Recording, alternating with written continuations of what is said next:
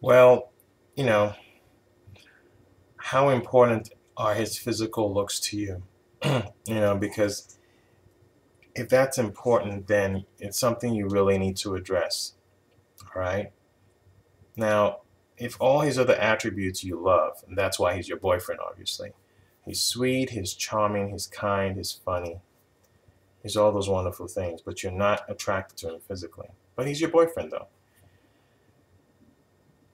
And a lot of times when people feel like this, with time, they start finding physical elements of the significant other that they like.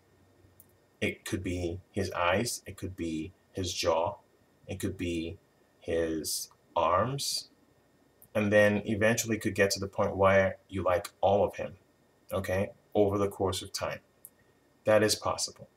However, that may not be the case in your case. That may not be what will happen in your case. So you really need to ask yourself, is this somebody that you want to keep being with if you're not physically attracted to them? Because you don't want to lead this other guy on either.